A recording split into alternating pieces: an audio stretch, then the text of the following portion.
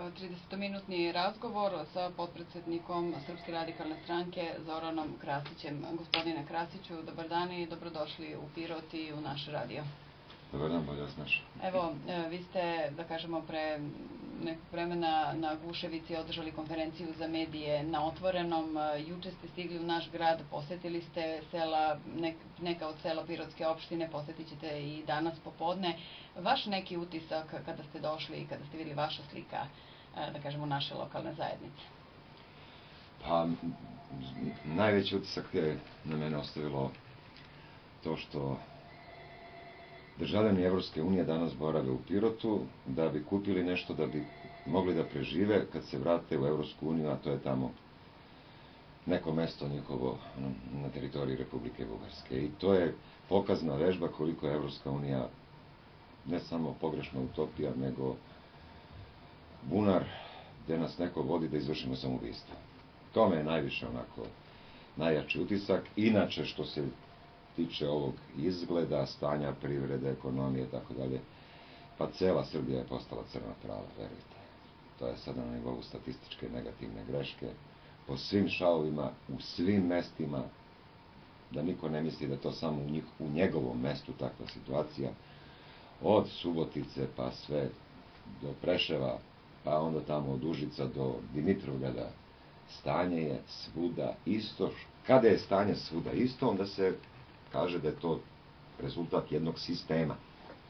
E, taj sistem koji je napravio ovo stanje, a ovo stanje je posledica, taj uzrok jeste ovaj, samoubilački, puzajući, dugotrajni, trpni put ka Evropskoj uniji, od tog puta nema ništa, to svi znaju.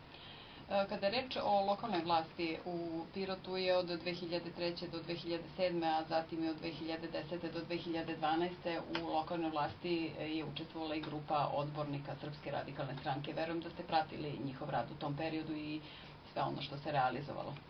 Pa jeste, oni su bili u nekoj koaliciji ovde na lokalu. Mi takav i program imamo i takav statut, dozvoljavamo tu vrstu koalicijone saradnje, ali ona mora da bude programska, da malo to pojednostavim pa valjda se ne razlikuje oko toga da li treba ulica da se asfaltira ili ne asfaltira. Valjda nema neke razlike između stranaka da li neka ulica ima prioritet za vodovod i kanalizaciju. Svodim temu na ono što je u nadležnosti lokalne samouprave. Tako da e, vidim po ovim našim specijalcima i ovo što ljudi pričaju, ipak se dosta to uradilo za ovih nekoliko godina. Napravljeni su neki objekti i meni je drago što su ipak naši zajednički jezik, da ipak Pirot na neki način se razvija makar u tom delu iz nadležnosti opština, to je ta infrastruktura. Što se tiče privrede, znate i sami lokalne samouprava, nema nekog velikog utjecaja. E, recite mi, e, opštinski pa i okružni odbor Srpske radikalne stranke ostao je aktivan i u periodu kada stranka nije bila zastupljena u Republičkom e, parlamentu. Redovno konferencije za novinare, sva obaveštenja, sve se odvijalo u kontinuitetu. To u celoj Srbiji. Svi naši odbori su aktivni bez obzira na to što Ovaj, na izborima 2012. nismo napravili neki bolji rezultat, tako da nas ipak vezuje program, ideologija, statut i obaveza da na svakom mestu pomognemo našem narodu, pa sad neki put narod nas bolje razume, neki put možda mi nismo bili dovoljno aktivni, pa i manje glasova dođe, ali moramo da budemo u službi svog naroda, ne možemo da budemo u službi Amerikanaca. I eto, upravo došli smo do tog ključnog pitanja, to je program. Naravno, šta je to što Srpska radikalna stranka u svom programu nudi za predstojeće parlamentarne izbore? Pa mi smo pokušali to da onako na najjednostavniji način učinimo dostupni svakom građaninu da to može bolje da shvati. I onda e, Znali smo da će da krene ova, ova najezda, obećanja, nova radna mesta, pa budućnost 2389. godine, pa onda prvo da radimo, pa onda navodno da živimo, pa onda da vam ne pričam sve ova obećanja. Ja onako u šali i veliko izbilji kažem, ljudi, nemojte da gledate te reklame, napravit ćete štetu sebi. Prvo možda polupate televizor, drugo, duša će da vas boli kad čujete one, one, one gluposti, a i najvažnije, troši se struja, a struja je skupa, pa makar smanjite troškove za struju. Znači, i Kosovo i Evropska unija očigledno da ne ide, da to ne može. Sa tom parolom i Kosovo i Evropska unija, nekako Srbija kao da se udaljava od Kosova i Metokije, a što se tiče Evropske unije, od toga nema ništa, to je svima jasno, osim pritisaka, pretnji. I mi 14 godina živimo po standardima Evropske unije. I onda da bi napravili i skrenuli pažnju, mi smo krenuli sa parolom i Kosovo i Rusija. I sada da je malo isprovociramo ljude da kažu pa zašto Rusija? Pa Rusija je prijatelj, pružila je ruku i hoće da pomogne. Nije nas bombardovala. U okviru Rusije mi računamo i na ODKV veliki odmrbeni sistem koji je odavno u formiran bezbednostni sistem, mnogo bolji nego NATO pakt. Dalje, tu je veliko tržište. Imamo slobodnu trgovinu sa Rusijom. Sve što Srbija proizvede, to nije ni 10% onoga što Moskva može samo da potroši. I oni su prijatelji, oni kažu, mi smo isprožili ruku, vi odlučite. Sada, ako je neko i dalje ide prema Evropskoj uniji, onda ide tamo odakle su nas bombardovali, oni koji nam otimaju Kosovo i Metokiju. Evropska unija je u ekonomskom, finanskom smislu mrtva. Imaju stalne deficite. Da bi preživala Evropska unija, ona se zajmi kod Rusije i kod Kine. Kao što se Amerikanci zajme kod Rusije, i, kod Rusije i kod Kine. A Rusija svake godine između 200 milijardi i 600 milijardi dolara ima tog takozvanog budžetskog suficita. Znači, tamo su pare, tamo je bogatstvo, tamo je prosperitet, tamo je tržište. To tržište može da kupi kompletnu našu proizvodnju, našu robu, a to je nama potrebno kao elementarna sigurnost da možemo da se razvijamo, da ne trpimo političke pritiske od strane neprijatelja, jer bez Kosova i Metohije nikome neće biti bolje. Samo može da mu bude gore. A ovaj pasivan odnos ili poslušnički odnos kad je u pitanju Kosovo i Metokija, treba da nas upozori, da nas uplaši, da nam kaže ko se tako odnosi prema Kosovu i Metokiji kao našem delu teritorije, on će tako sutra da se odnosi i prema Pirotu i prema Beogradu i prema Subotici i svakom, svakom krajičku ove naše, ove naše zemlje. A onaj ko vrši vlast to ne sme da radi, njemu je to zabranjeno. On mora da vodi računa i o narodu i o državi i o državnim interesima. I mi smo svesni da je Srbija i mala država, da ona mora da ima zaštitu od svojih prijatelja. Rusi kažu tu smo. Ali vi, braćo Srbije, odlučite na izborima. Ako vi na izborima tako odlučite, tu smo, pomoći ćemo, zaštitit ćemo sve interese i krenut će Srbija da se budi. Ukoliko se usmeravate, usmeravate prema Evropskoj uniji, onda će Rusija morati da okrene svoje rakete prema nama kao nekom svom budućem neprijatelju. Ja ne želim da budem neprijatelj s Rusima, Verovatno ni vi ne želite da budete neprijatelji sa Rusima. Pored od ovih silnih neprijatelja, još samo nam pale još Rusi da nam budu neprijatelji. Neko nudi budućnost, izlazak iz ove situacije za 14, 15, 16 godina. Ne može Srbija to da preživi, jer i kroz 14 godina Evropska unija neće ni da postoji. Evropska unija ne valja Bugarima, ne valja Rumunijima, Česima, Slovacima. Mađari izbacili zastavu, izbacili MMF. Italijani isto nezadovoljni, Španci, Portugalci, Poljaci takođe nezadovoljni. Šta je to Evropska unija? Od Evropske unije je ostala samo jedna priča. Koga može da uplaši Evropska unija? Nikoga ne može da uplaši. Čime da uplaši ona? Nema čime da uplaši. Neće da da pare, pa oni nemaju pare. Nemaju za kredit. Šta ćemo tamo? I zato ja kažem ljudima, nemojte da bacate glasove glasajući za ove liste gde se nalaze sve predstavnici evropskih stranaka. Usmerite glasove prema broju šest, da preko velikog broja glasova Srpske radikalne stranke Rusija, Ruska federacija razume tu poruku i ne samo pruži ispruženu ruku još više pruži, nego i pomogne. I sigurno sa svojim ekonomskim, finansijskim i svim drugim vojnim, bezbednostnim potencijalima, ona može da bude pristojan garant našeg razvoja. E, na tom putu ka Evropskoj uniji mi smo se odrekli carina i gubimo velike pare po osnovu carina. Ali trpimo još veću štetu. Carina znači pare za budžet, ali carina znači i zaštita domaće proizvodnje.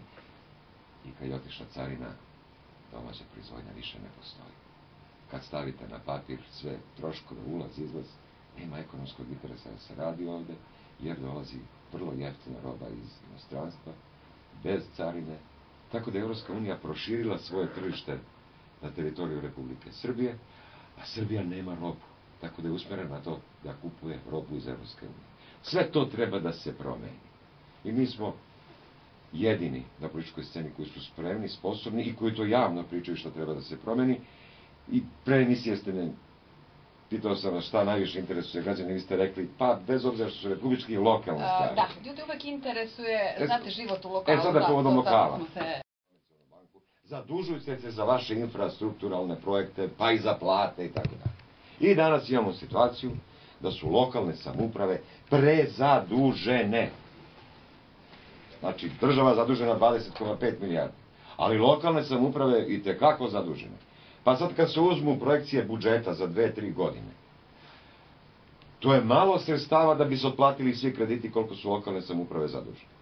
Pa onda imate na televiziji uspešne uh, uh, predsednike opština poput onoga iz Palme, a 30% građana mu ne radi.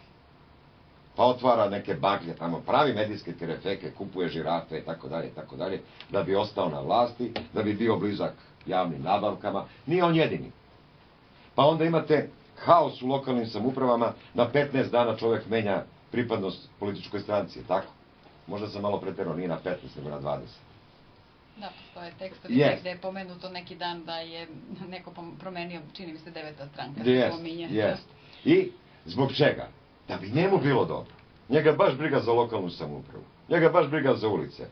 Hoćemo da asfaltiramo ulicu, ajde, ajde ako možemo 10% da ukrademo. To je ta logika. A građani naivni, zna. Neko im obeća, oni poveruju, daju glas mafijašu i mafijaš vodi mesto. Namerno ne govorim nazive lokalnih samuprava, jer je to trend u celoj Srbiji. Bukvalno rečeno u, celoj Srbiji. A, na taj način mi dolazimo u, u stvari do, do zaključka da država mora da bude mnogo poštenija prema lokalnoj samupravi. I bilo bi mnogo bolje da država sa svojim aparatom povuče neke izvorne prihode koje je dala lokalnoj samupravi. Pa da onda na objektivan način bude majka svim lokalnim samupravama. Sa objektivnim kriterijima, broj stanovnika, broj dece, broj škola, broj nastavnika, broj zdravstvenih radnika i tako dalje i tako. A ne ovako da svoju izvornu obavezu prebaci lokalnoj samupravi. Oni su kao posao lokalne samuprave prebacili neke državne poslove i neke državne obaveze za koje je samo država garant pred recimo Evropskim sudom za ljudska prava, a ne može lokalna samouprava. Zašto? Država je dužna da obezbedi političku ravnopravnost i jednakost građana na svojoj celoj teritoriji. A ne da se krije, eto mi smo prepustili opštini, pa neka opština, ta opština nije dobra, Republika je bajna. Republika je garant ostvarivanja prava. Republika je garant čak i za pravo na lokalnu samoupravu.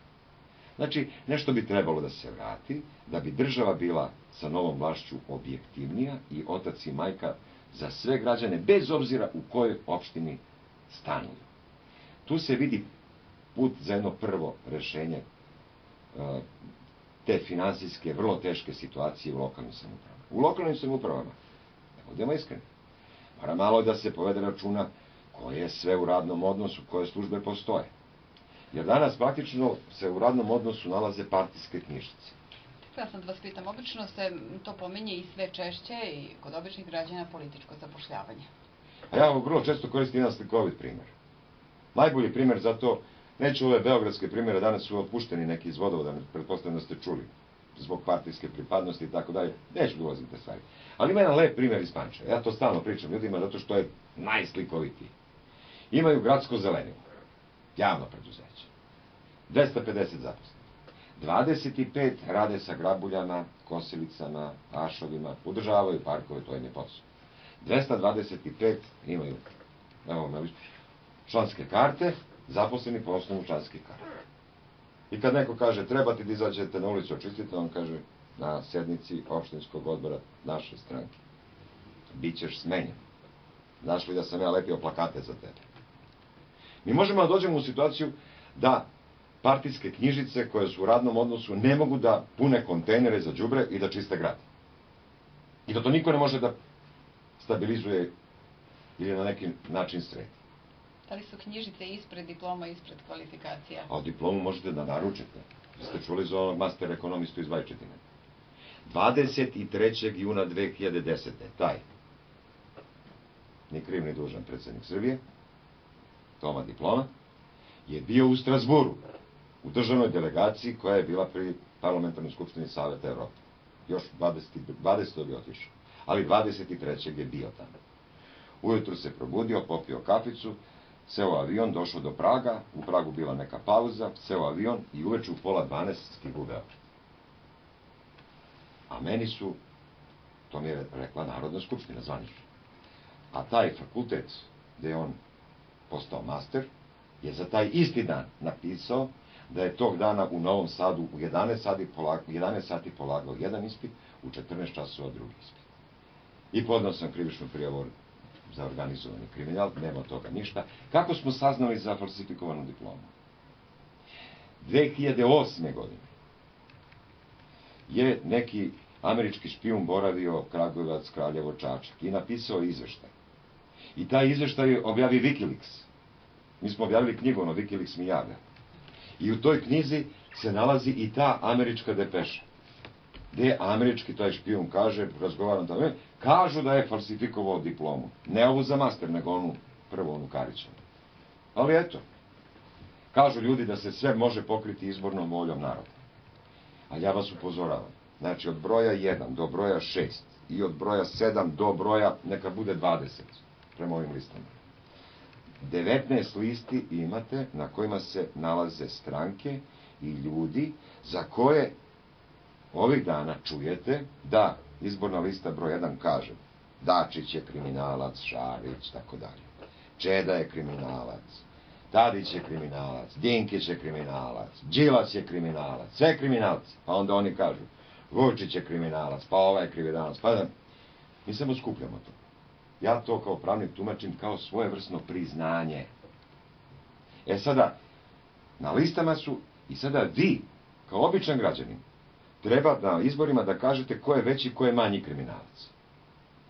Vi trebate nekog da amnestirate vašim glasovima. Pitanje kriminala je pitanje za sud, tužiloštvo, a ne za građane na, na dan izbora. Znači, građani danas u ponudi imaju 19 lista na kojima oni sami kažu da su kriminalci i jednu srpsku radikalnu stranku za koju niko ne kaže da su kriminalci, nego pokušavaju da zaborave kao da mi ne postojimo i tako dalje.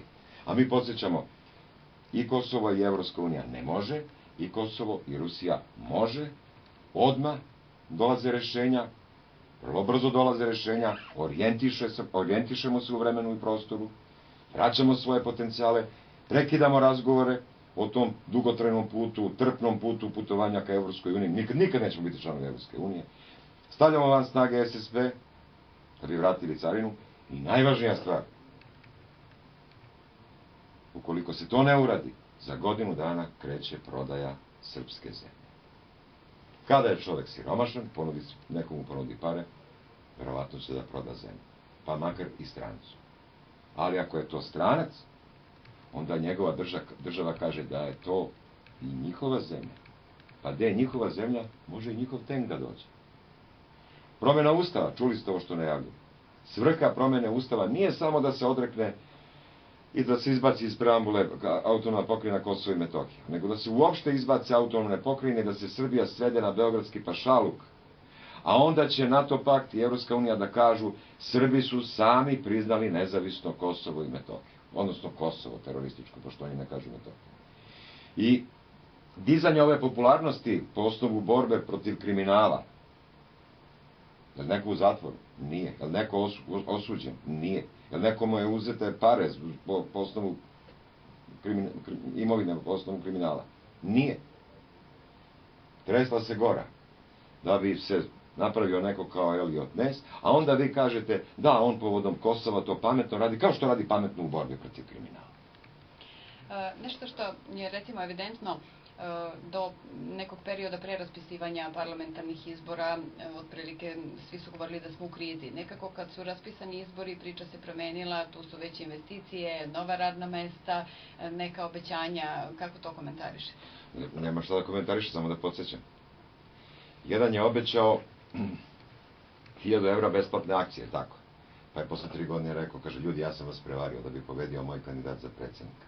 I sad je na listi. Svi znaju ko je. Pa je onda jedan rekao, ako glasate za mene, ja ću 250.000 ljudi da se apostim, samo glasajte za mene, znate, onaj lep, lep, lepa glup ko Đuskija. Bio predsednik, 400.000 radnih mesta je ugašeno. Sad se ponovo javlja na izborima i opet kaže da će da zapošljava. Imamo jednoga kaže, ja bi da reformišem ovo. Vodi računa, ako te čuju ovi iz Evropske unije, obrosi Bosna. Za 14 godina je sve reformisano po standardima Evropske unije i sad i onda menja te standarde po nalogu Evropske unije. Pa ne ide malo. Ali vidite da nigde nema reči Evropska unija u ovoj kampanji. Znate zbog čega? Da građani ne budu svesni da u stvari glasaju na referendumu za Evropsku uniju ili ne. I ja kažem, svi koji glasaju za proevropske stranke, glasaju da Srbija puzi ka Evropskoj uniji, ka NATO paktu. Pa idemo dalje na obećanje. Ako meni izaberete za nekoga da budem na vlasti, ja vam donosim 100 milijardi evra. Tako beš? Investicije. Za dve godine na vlasti, Srbija, Srbija zadužena 5,5, povećala zaduženje za 5,5 milijardi evra. Zapošljen u radnom odnosu na neodređeno vreme, pa da po osnovu tog rada ima neku egzistenciju. A to možemo da Ajde da ukinemo te agencije koje su neki rekli da treba da se ukidaju, pa ih nisu ukinuli. Iz Evropske unije, i kad su dolazile neke pare, dolazile su da se pravi infrastruktura, nadgradnja, a ne da se razvija proizvodnja. Jer Evropskoj uniji ne odgovara da se ovde proizvodi. Ali im odgovara da postoje institucije državne koje bi oni finansirali, da kada njihov čovek ovde ima neki pravni sudski problem, bude zagarantovano da je on dobio sudski postupak. Jer reforma pravosuđa koja je finansira sa, finansirana sa 100 miliona dolara od strane Amerikanaca je sprovedena da bi bilo ovakvo pravosuđe. Da vi nemate poverenja u ovaj sud. Ali stranac ima poverenja. On je zaštićen ovde. Njemu je sve ovde zagarantovano. Znači, mi se nalazimo u procesu da li prihvatamo porobljavanje ili se borimo protiv porobljavanja. Ja pripadam ovoj grupi koja se bori protiv porobljavanja. Zašto? Nikome robski odnos nije doneo sreću. Samo da podsjetim. A evo da isporučimo Miloševićama i odmah će da nam svane. Pa nije na svanu. Evo da potpišemo brisavski sporazum pa će da nam svane. Pa nije na svanulo, nego propadamo još više. I mi stvarno imamo situaciju da ukoliko ova politika ostane na vlasti, namjerno ne govorim stranke, to su sve druge ove proevropske stranke, ako ta politika bude dominantna, i Kosovo i Evropska unija, ili Evropska unija po svaku cenu, od nas neće ostati ništa. Apsolutno ništa. Sada, dok traja ova kampanja, od 1. januara do kraja marta, to možete i na sajtu Uprave za javni dug da vidite, to nisu moji podaci, to su njihovi podaci. Znači, za ovaj prvi kvartal, za ovih tri meseca, Srbija ima da se zaduži 60 milijardi dinara. I ima da se zaduži za 125 miliona evra. Kako? Emituju hartije od vrednosti, banke strane kupuju, uzimaju se navodno pare da se popune rupe u budžetu. Gde su rupe u budžetu? Da vidimo, gde su rupe u budžetu? Zbog čega su rupe u budžetu? A onda kad treba da se vraća, vraća se... Iz... Ko će vratiti taj novac? Građani. Ali ništo će da vrate dug, nego će da plate i kamatu bankama, iako nisu u ugovornom odnosu sa bankom. Zato, je zato ljudi moraju da budu oprezni kada glasaju. Ja kažem, nemojte da gledate reklame. Gurnite ruke u svoj džep. Pa vidite, da li vam je bolje? Gurnite ruke u džep. Pa vidite, da li vam je oko srca bolje? Pa da li vam je u porodici bolje? Ako vam je bolje, pa glasujte za postojeće stanje, nema nikakvih problema. Ko sam ja da nekome kažem da mu je loše ako je njemu dobro? Glasajte. Ali znam da nije dobro. 90% građana su gubitnici za ovih 14 godina.